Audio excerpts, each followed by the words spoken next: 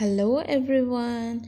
Let us read a poem about a child who sees the moon and star every night from his window and think the stars and moon are so beautiful and shiny.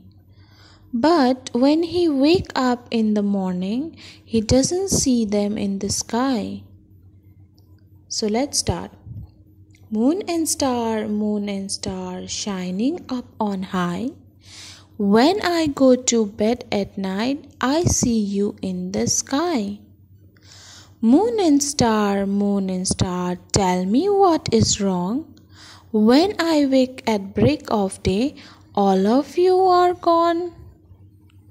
Thank you.